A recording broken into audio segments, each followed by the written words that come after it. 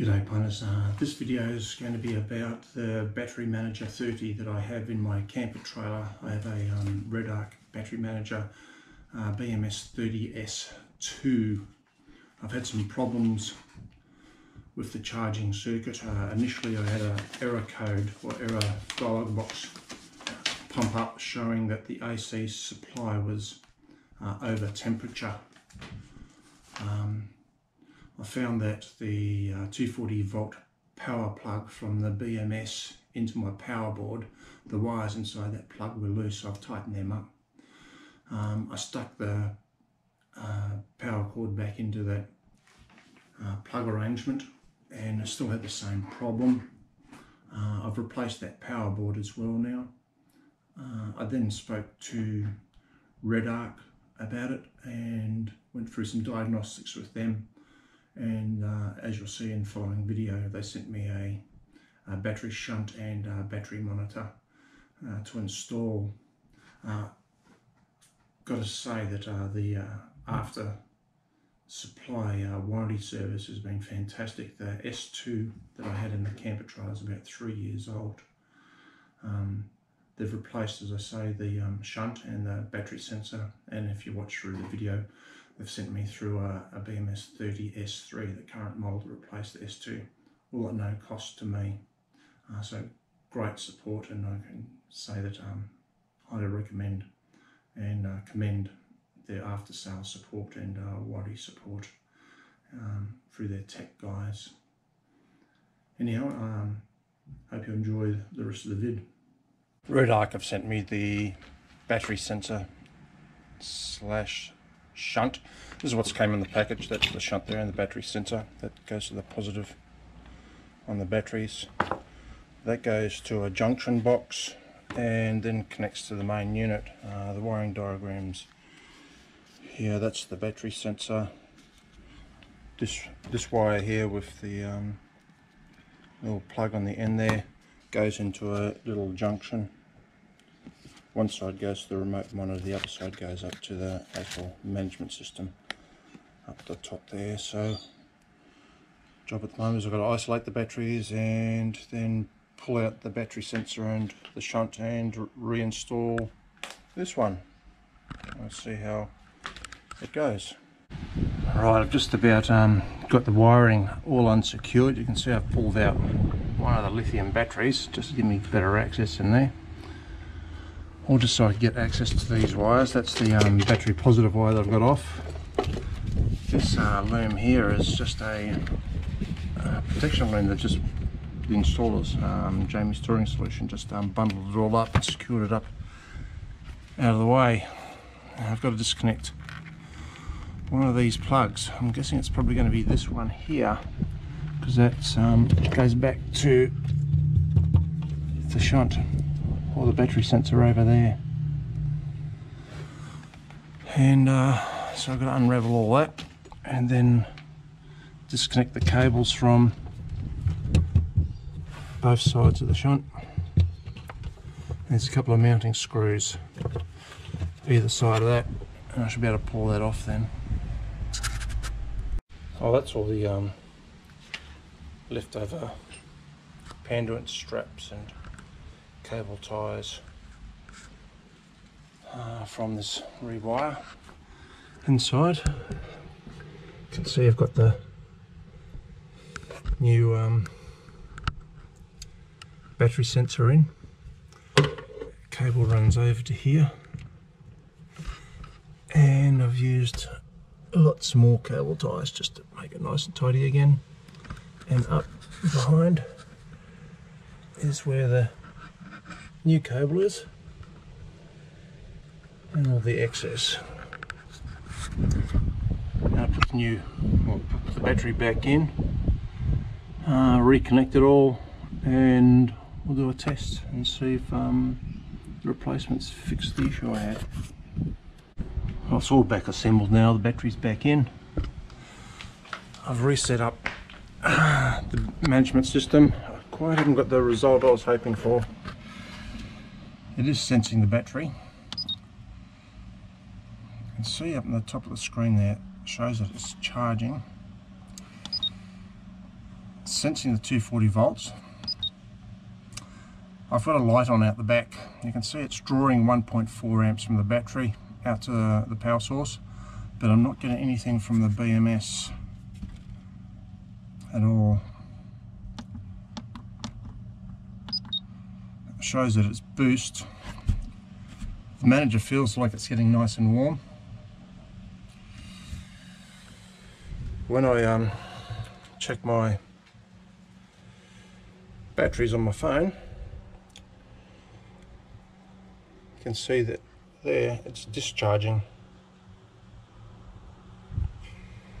so I'm not getting any charge into the batteries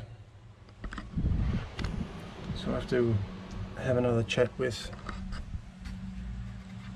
Redarc and see where we go to from there I've been onto Red Redarc and they've told me to do a complete reset where you see the manager 30 sitting off I had hooked up the 240 volts, so I've disconnected the 240 volts and unplugged it from mains. Uh, then I unplug this green plug up here. I believe some of them have got glub, scrub screws. Mine has got a um, straight edge screw in the end there, which is why I need to mount, de demount it. I unplugged the 240 volt supply there anyhow. Then I had to disconnect the battery sensor wire, which is positive, which is this wire up here. I think you can see it. Uh, and before doing that, I disconnected earth. So the batteries were completely isolated from the system. I then let the system sit for about five to seven minutes and then reconnected the battery positive or the battery sensor wire, the battery earth, connected that green plug up again, plugged in the 240 to the manager, plugged it into the 240 system. And that's a complete reset apparently. Um, it hasn't resolved the problem so I'm just waiting for a phone call back from Redarc. This is a um, manager um, 1230S2. The current version is an S3 and I think the difference between an S2 and S3 is S3 will actually continue to charge lithiums even when lithiums have a zero um, voltage across the terminals whereas uh, these Redarc uh, S2s, the managers, uh, need a battery uh, voltage, so they need to sense voltage before they start charging. Rightio, I've just spoken to Todd at Redarc down in Adelaide. Explained that um, doing the reset didn't change it. He's actually going to send me a new box. Swap it over, sending it by um, toll priority, so he reckons he'll get it here in a couple of days before my next trip in 10 days we'll swap that over and see what happens. I did mention to him yesterday when I plugged into 240 volts after I um, reinstalled it, um, the box was actually getting quite warm and I smelt a bit of an odour, which isn't very nice. And he said, yeah, just completely disconnect it. So I'll go ahead now and pull this right off and um, next video um, we'll stick in the new box and see how it goes. So I've got the replacement manager from Redarc. This is the new one here. It's a 1230S3. The only difference I can see is um, it's got a second bus connector this side here. So this is the S3. That's what we say um, original one, and that's an extra one. And this is the S2, the one that's faulty. There's no second bus connector. Say I need to stick that in. They call it a terminating resistor for some reason or other. Uh, probably could find out more about it on their website. Now I'm going to install it into the camper and see if we resolve the issues that I've been having. Rightio, I've reconnected everything so the Redarc instructions say to ensure the terminating resistor which you saw me before is in first. Re reconnect the green power plug. Connect up the bus cable. Uh, hook up 240 volts. And I've done all that. Uh, reset the time and everything. On the charger you can see that the battery up there showing there's a charge going in. Appears to anyhow. I'm going to go straight down into the uh, battery charge like it says the battery's 100% now I know that's wrong and I know that's wrong because I can check that on my phone I'll show you shortly it's reading 244 volts and you can see that that square is all black. Previously it was um, There was no color, colouring in it at all. And we'll go to the output status. It shows the BMS is putting out 32.3 amps. Most of it's going into the battery. And I'm drawing point or 0.1 of an amp to a load, 0.2 of an amp to a load, sort of thing. Now I just got to log on to my battery system, or the batteries anyhow, and we'll have a look. It's just I'm looking for the batteries now. It's found both batteries. State of charge 66%. Should be able to see that there. Go to the next screen. And it's showing that um, on the top right uh, that battery is receiving 16.1 amps. Battery 17.4 degrees. So it shows me that I'm getting a charge into that battery. We'll go out and have a look at the other battery. Just go back out of this one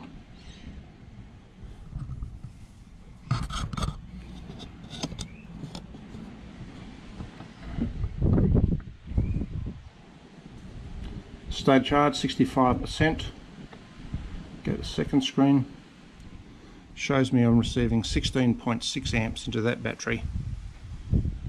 So that all seems to be working okay to me now, so I'm just going to ring up Todd at Redarc, thank them for the um, supply of the new BMS um, 30S3. let them know that it all appears to be working okay, and I'll just check that state of charge on this reading again probably tomorrow. Make sure it's okay A little bit of warmth there, but you know, it's pumping out 30 amps. I imagine that'd be warm. No funny smells. Um, all seems to be good.